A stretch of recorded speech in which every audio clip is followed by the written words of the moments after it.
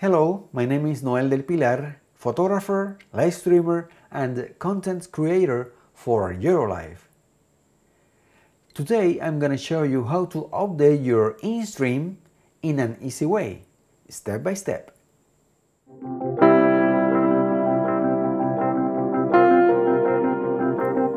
First, be sure that you are connected to the Wi-Fi or Ethernet connection. Next, let's check what software do you have installed in your InStream.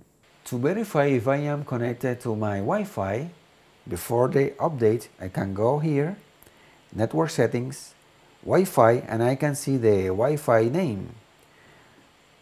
Just to verify, it's connected. So we are ready to download the update. But before installing the new software, I want to know what software actually I have in my InStream. Just click in About Device, and here we can see the InStream 1.7.0 and the firmware version 1.7.0 as well. So let's start the update. So now you can see in this window the announcement of the new update. This is the version 1.8.0, now available. What's new? Support simultaneous live streaming on two platforms. So let's install it. So let's go to the menu to install the software. Just click in here, then go to version and click upgrade.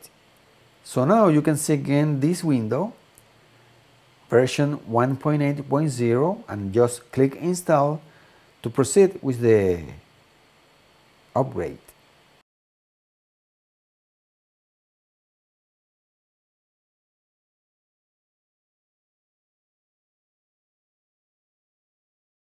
Remember, do not turn off your InStream during this process. We can see that the firmware is updating as well. Some software updates include a firmware update, so we just need to wait. Remember to not turn off your InStream during this process. If you do that, you can be in a problem, okay?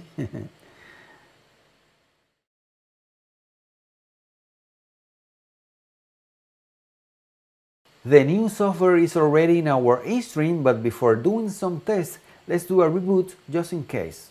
Right here in Restore Factory Settings, and let's click Reset and Reboot. Erase all data factory reset? Yes. The first step is to go to your Wi-Fi settings and find your Wi-Fi and write your password. network settings, Wi-Fi, right here, and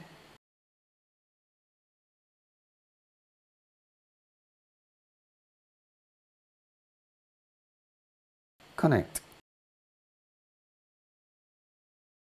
I am ready connected to the Wi-Fi.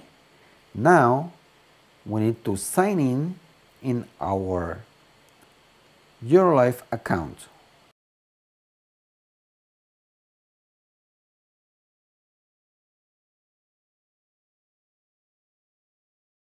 So we are ready with the InStream. Now I am going to test this new software. So we are going to go live in two platforms, maybe Instagram and Facebook in vertical mode, obviously.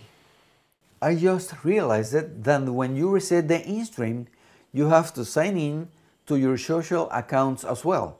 So have your account, your passwords information like your password close to you, Many times they will ask you for account verification codes for security, etc. So if you are going to make a live stream, you should verify all that in advance. Now you will see this new window that tells you, please open an app first.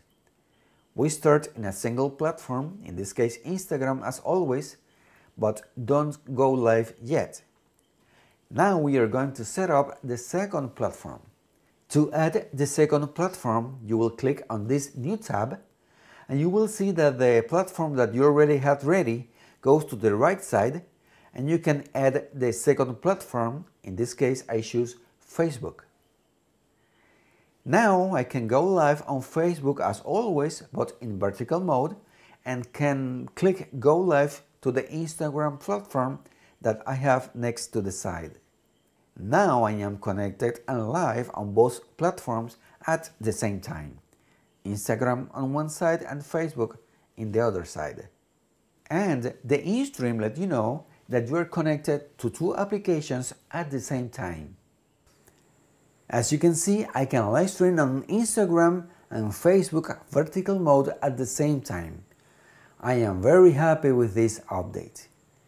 If you want to learn more about the InStream or any other YOLO product, just visit the YouTube channel and also visit the Facebook group. There are many members right there ready to help you. My name is Noel del Pilar, photographer, live streamer, content creator for YoloLiv. See you next time.